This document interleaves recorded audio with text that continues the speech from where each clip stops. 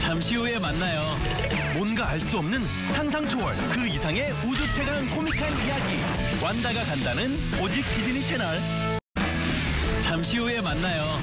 뭔가 알 수 없는 상상 초월 그 이상의 우주 최강 코믹한 이야기. 완다가 간다는 오직 디즈니 채널.